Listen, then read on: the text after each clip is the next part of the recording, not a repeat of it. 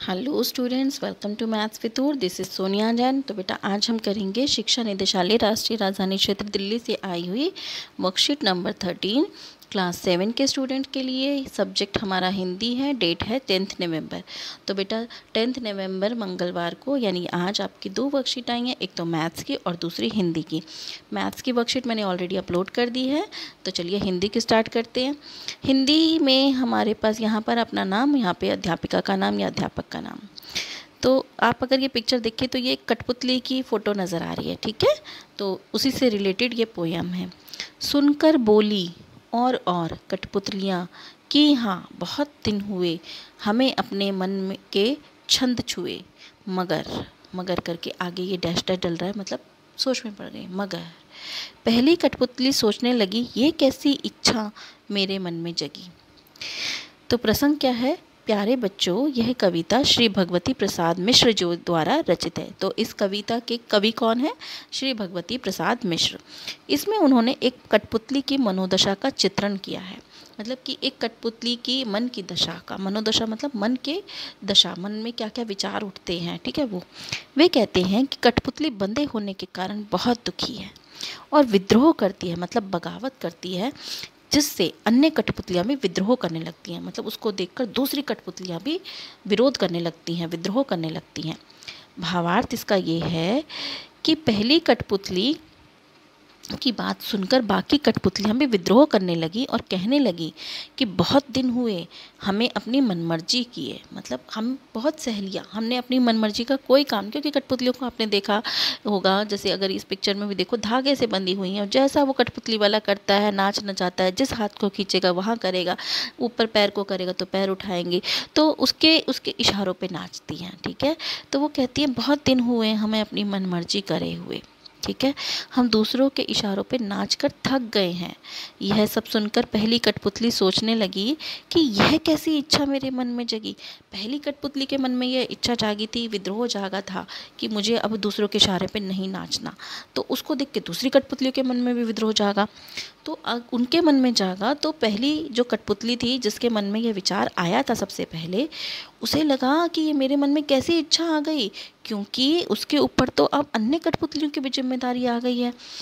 तो मतलब उसे ये लगा कि भाई, पहले तो मैं ही इधर से आज़ाद होना चाहती थी तो दूसरी कठपुतलियों ने कहा, नहीं, हम भी होना चाहते हैं, विद्रोह करना तो अब जो पहली कठपुतली थी, उसे लगा कि मेरे पर मुझे तो आज़ाद होना ही था, ठीक है, लेकिन मुझे अब मेरे ऊपर इन दूसरी कठपुतलियों की भी ज़िम्मेदारी आ गई है। ठीक है? अब नीचे दिए गए प्रश्न दिए बेटा, उनको करते हैं। पहली कठपुतली की बात सुनकर बाकी कठपुतलियों ने क्या कहा? तो बेटा, यहाँ पर हमें ये है कि पहली कठपुतलियों की बात सुनकर बाकी कठपुतलियों ने क्या कहा था? क्या कहा था बाकी कठपुतलियों ने? कि बहुत दिन हुए हमें अपनी मर्ज़ी किए हुए। तो यही बस हमने यही लिखना, हम दूसरों के इशारे पर नाच नाच कर थक गए हैं, ठीक है? तो हम यही उत्तर लिखेंगे। पहली कठपुतली की बात सुनकर, बाकी कठपुतलियों ने कहा, बहुत दिन हुए हैं, हो गए हैं, अपनी मर्ज़ी मन मर्ज़ी किए, हम दूसरे के इशारे पर नाच नाच कर थक गए हैं। अगला प्रश्न है, पहली कठपुतली की बात सुनकर दूसरी कठपुतली को क्या अच्छी, क्यों अच्छी लगी? जो पहली कठपुतली थी, उसकी बात सुनकर दूसरी कठपुतली को क्या मतलब अच्छा लगा? क्यों अच्छी लगी थी वो बात? तो पहली कठपुतली की बात दूसरी कठपुतली को अच्छी लगी क्योंकि वह भी स्वतंत्र होना चाहती थी, वह भी आज़ाद होना चाहती थी और अपने पाँव पर खड़ी होना चाहती थी। वो भी अपने मनमर्जी का काम करना चाहती थी, ठीक है? इसमें लिखा है ना कि वो भी अपने मनमर्जी का काम करना चाहती थी, ठीक है? वो दूसरों के इशारे पर नाच नाच के थक गई थी तो ये चीज़ उनको वो चाह रही थी। दूसरी कठपुतली की बात सुनकर पहली कठपुतली क्या सोचने लगी? जब उसने देखा कि दूसरी कठपुतलियाँ भी बगावत कर रही हैं तो पहली कठपुतली क्या सोचने लगी? तो इसमें यहाँ पर है ना तभी वो कहती है कि यह कैसी इच्छा मेरे मन में जगी, अब तो अन्य कठपुतली की भी ज़िम्मेदारी मेरे पर आ गई। तो हम इसका आंसर यही लिखेंगे।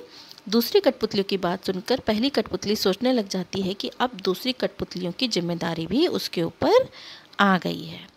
अगला प्रश्न है, अगर सॉरी आपको कठपुतली की तरह दूसरों के इशारों पर नाचना पड़े तो आपको कैसा लगेगा और क्यों? तो बेटा, अगर आपको ऐसा ही नाच, आपको मतलब दूसरे के इशारे पे काम करना पड़े, सारा टाइम आपके सब कुछ वही करना पड़े तो आपको कैसा लगेगा? है ना? बुरा लगेगा, बहुत बुरा लगेगा। अगर हमें भी कठपुतलियों की तरह दूसरे के इशारे पर नाचना पड़े तो हमें बहुत बुरा लगेगा। हम स्वतंत्र जीना चाहते हैं तथा अपनी मर्ज़ी से काम करना चाहते हैं। अगला प्रश्न है क्या हम सभी टीवी, मोबाइल और इंटरनेट के हाथों की कठपुतली हैं और हैं तो कैसे? तो इसका उत्तर बेटा ये है हाँ हम टीवी, मोबाइल, इंटरनेट के हाथों की कठपुतली हैं। क्यों? क्योंकि जैसा हम टीवी, मोबाइल, इंटरनेट, इन सब पर देखते हैं, हम उसी को सही मान लेते हैं और वैसा ही कर लेते हैं। कई बार सॉरी हम जो भी चीज़, अब सपोज़ एक विज्ञापन की ही बात करते हैं, टीवी पे कोई विज्ञापन आता है, मान लीजिए कोई साबुन का विज्ञापन अगर मैं कहूँ या कोलगेट का या किसी भी पेस्ट का विज्ञापन कहूँ तो आप उसमें देखते हैं कि बहुत अच्छे से बहुत अच्छा साबुन है, बहुत अच्छे से गोरा हो गए हैं उससे तो हम क्या उसी को सच मानने लग जाते हैं? हम वही चीज़ बाज़ार से ख़रीद के लाने लग जाते हैं, है ना? तो एक तरीके से हम जो वो दिखा रहे हैं, हम उसी को सच मान रहे हैं। है ना?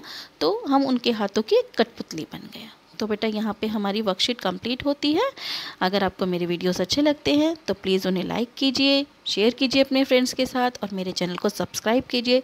सब्सक्राइब करने के बाद बेल आइकन को प्रेस करना मत भूलना सो दैट कि जब भी मैं नेक्स्ट वीडियो अपलोड करूँगी, आपको उसकी नोटिफिकेशन मिल जाएगी। So stay tune for more videos till then bye